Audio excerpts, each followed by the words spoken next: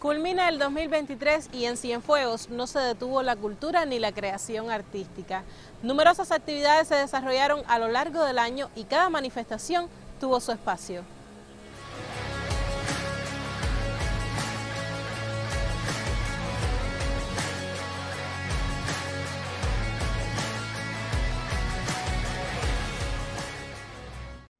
Las artes escénicas fueron protagonistas desde inicios del año. Agrupaciones cubanas y extranjeras se dieron cita en esta ciudad en varias salas como la Aida Conde, el Guiñol, la Sala Cuestas y el Teatro Tomás Terry como centro de convergencia.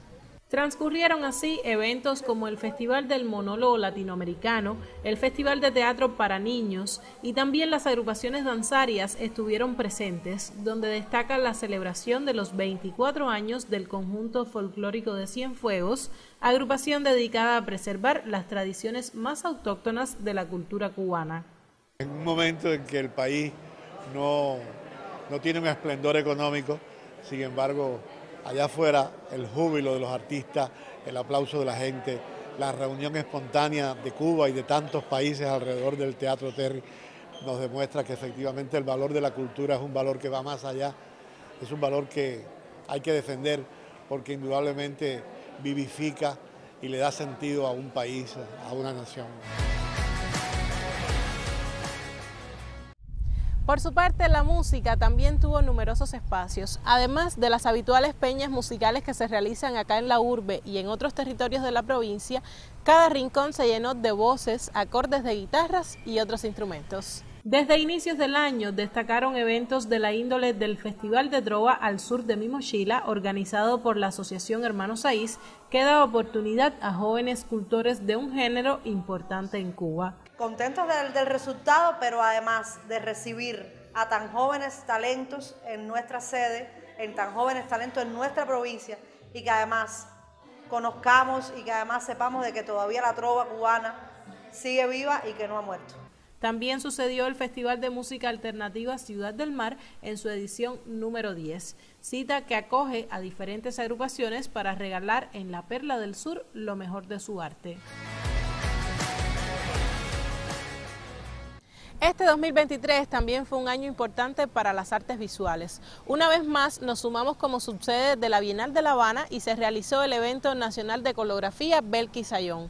Es así que las exposiciones salieron de las salas. Cada calle se llenó de arte y nuevos espacios abrieron sus puertas. Así celebramos la visita de amigos extranjeros que con su arte enriquecieron la muralística del Distrito Creativo La Gloria en trabajo conjunto con el proyecto de desarrollo local Trazos Libres.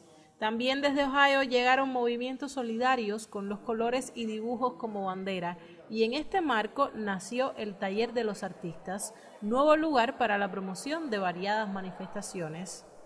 La idea sería no solo permitir eh, abrir un mercado para los creadores, permitir eh, crear un espacio que pudiera ser para el goce de los públicos sureños en sentido general, tratar de cambiar también la fisonomía de un espacio que por mucho tiempo ha estado un poco soterrado, desgarbado, como puede ser eh, esta zona de la calle La Mar, sino también el poder crear un sistema de acciones complementarias de tipo cultural. En materia literaria llegaron varias alegrías. Justo a la mitad del año y luego antes del cierre, los amantes de las letras y los libros recibieron buenas noticias. La librería Dionisio San Román, ubicada en la entrada del Boulevard Cienfueguero, reabrió sus puertas luego de un amplio proceso inversionista. El remozado espacio ofrece variadas posibilidades en tanto se constituye como café literario.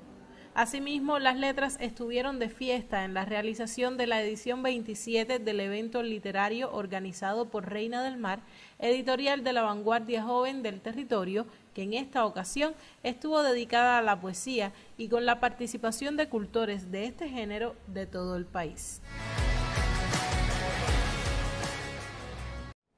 Con este recorrido de lo más relevante que aconteció en materia cultural en Cienfuegos durante el 2023, nos despedimos, a la espera de que el próximo 2024 sea un año cargado de arte donde la cultura sea protagonista.